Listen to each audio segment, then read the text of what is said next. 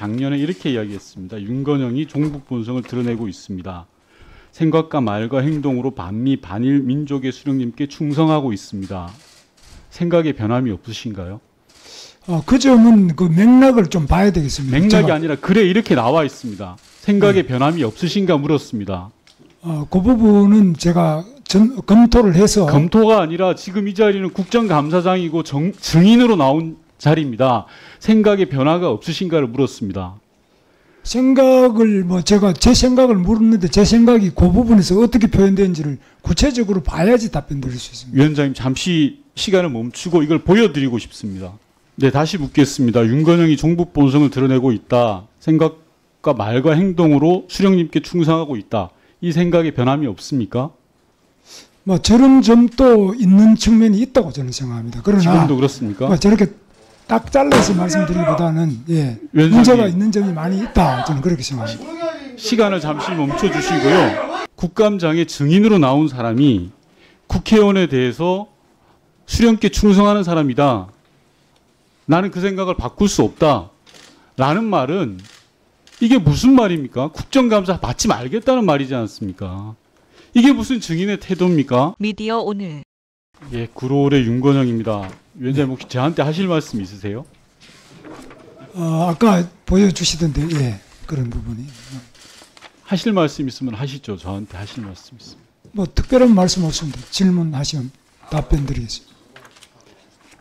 위원장께서 저한테 저는 오늘 이 글을 처음 봤는데요. 작년에 이렇게 이야기했습니다. 윤건영이 종북 본성을 드러내고 있습니다. 생각과 말과 행동으로 반미 반일 민족의 수령님께 충성하고 있습니다. 생각에 변함이 없으신가요?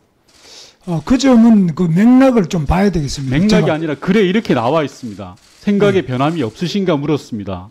어, 그 부분은 제가 전, 검토를 해서 검토가 아니라 지금 이 자리는 국정감사장이고 정- 증인으로 나온 자리입니다. 생각에 변화가 없으신가를 물었습니다. 생각을 뭐 제가 제 생각을 물었는데 제 생각이 그 부분에서 어떻게 표현되는지를 구체적으로 봐야지 답변 드릴 수 있습니다. 위원장님 잠시 시간을 멈추고 이걸 보여드리고 싶습니다. 예, 잠깐 시간 멈추고요. 어, 아까 PPT 하나 보여주세요. PPT를 준비를 해주세요. 띄워주세요. 예, 시간을 멈추고 띄워보세요.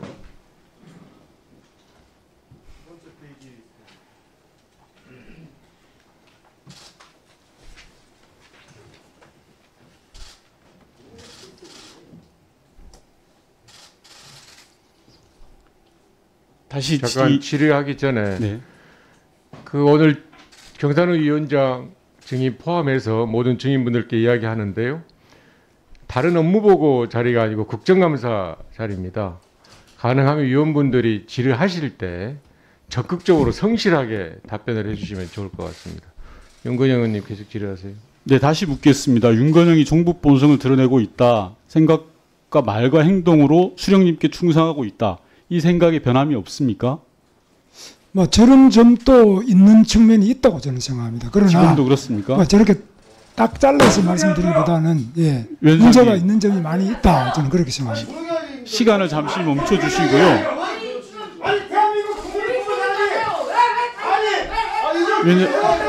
잠깐만요. 자, 잠깐 시간 시간 잠깐 멈추고요. 시간 잠깐 멈추고. 의사 진행 발언을 좀 예, 하겠습니다. 그러면 아 취소하세요. 예 지금 예 위원님들 그 윤건영 의원님한테? 자 위원님들 조용하세요. 자 위원님들 국감하지 않을 겁니까? 자 이미자 간사님, 김영진 간사님 잠깐 조용히 하세요. 어, 이 부분에 대해서는 그 계속 질의를 할 수도 있습니다만은 국정감사 중에 위원이 모욕을 당하거나 명예훼손을 당한 것은 계속적으로 질의를 하기 어려울 수도 있다고 생각을 합니다. 그런 면에서 윤건영 의원님의 의사진행 발언을 듣고 그리고 나서 계속 질의를 하는 게 맞는 것 같습니다. 윤건영 의원님 의사진행 발언하시기 네, 바랍니다. 위원장께서는 들어가셔도 됩니다. 질의하는 게 아니니까요. 어, 국민의힘 의원님들과 위원장님께 말씀을 드리겠습니다. 아, 이 자리는 국회 국정감사장입니다. 국회의원이라는 것은 국민을 대표해서 헌법이 정한 절차와 기준에 따라서 나와서 증인에 대해서 신문을 하고 있는 겁니다. 그런 국회의원에 대해서 반일 반 반일 반미 민족의 수령님께 충성하고 있다라는 생각을 가지고 있다라고 한다면 과연 이 국정감사가 정상적으로 진행되는 게 맞다고 생각하십니까? 자, 잠시만요. 제 시간입니다. 지금 어지간하면 넘어가려고 했는데요.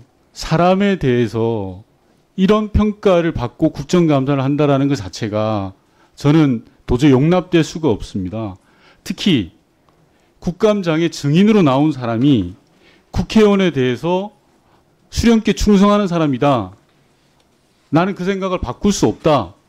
라는 말은 이게 무슨 말입니까? 국정감사 받지 말겠다는 말이지 않습니까? 이게 무슨 증인의 태도입니까? 이게 그- 그리고 윤석열 정부의 장관급 경산의 위원장으로서의 가져야 될 자세입니까? 위원장께서 저는 잘 판단해 주셔야 되는데요. 경산의 위원장에 대해서 앞선 의원님들께서 이야기하셨던 여러 조치 그리고 오늘 저에 대한 인격적 모독 이런 부분들에 대해서는 분명한 사과가 있어야 된다고 생각하고요. 사과 없이는 국정감사 질의를 하는 게 무의미하다라는 말씀 드리고 싶습니다.